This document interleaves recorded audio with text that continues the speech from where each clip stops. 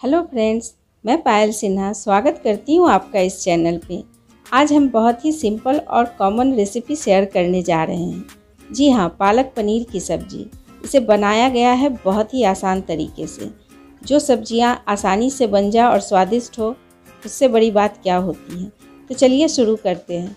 तो सबसे पहले हमने यहाँ पानी को गर्म किया, फिर 300 ग्राम पालक लिया, उसे अच्छी तरह से धोकर इस गर्म पानी में डालेंगे। लेकिन गर्म पानी में डालने से पहले एक चम्मच चीनी डाल दें।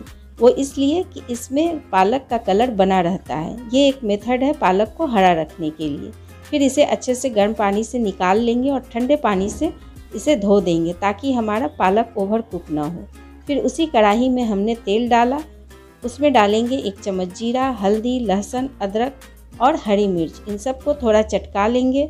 फिर एक बड़े साइज़ का प्याज उसे भी रफली चॉप करके इसके अंदर डालेंगे और इसे भी हल्का नरम होने तक भूनेंगे।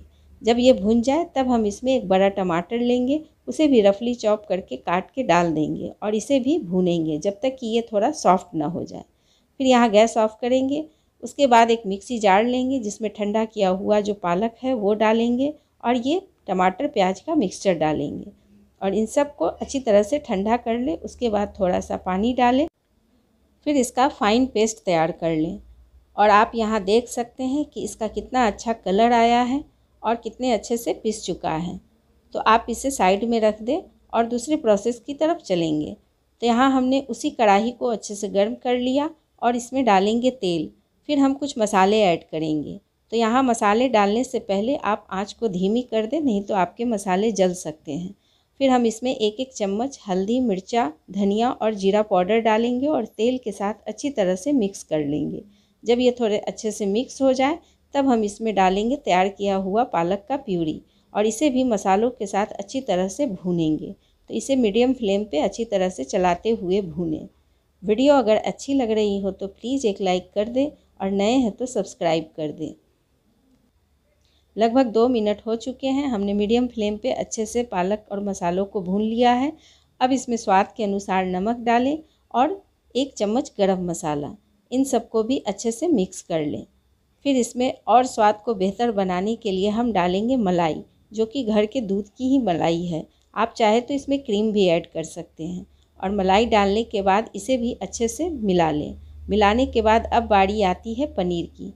तो यहाँ हमने 200 ग्राम पनीर लिए हैं, उसे अपने मन चाहे आकार में काट लीजिए और पनीर के साथ मिक्स कर लीजिए।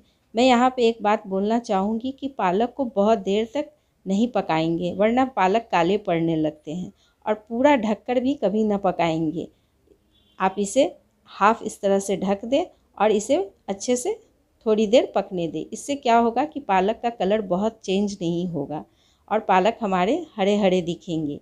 अब आप इसे गैस यहाँ पे बंद कर दें और इसे गर्मा गर्म सर्व करें। इसे आप रोटी, पराठा, नान किसी के साथ भी इंजॉय कर सकते हैं। यहाँ पे हमने एक पनीर के क्यूब्स को बचा लिया था, जिसे हमने ऊपर से गार्निश कर दिया ताकि दिखने में अच्छा लगे और थोड़ा सा मलाई से इसे डेकोरेट कर दें। और ये लीजिए सिंपल सा, आसान सा और कॉमन रेसिपी बनकर तैयार है, जो कि बनाने में बहुत ही आसान है और खाने में बहुत ही स्वादिष्ट है। तो वीडियो कैसी लगी आप इसके बारे में प्लीज़ प्लीज़ हमें ज़रूर रिप्लाई करें और पसंद आया हो तो एक लाइक ज़रूर कर दें। हम फिर मिलेंगे एक नई रेसिपी में। तब तक के लिए बाय।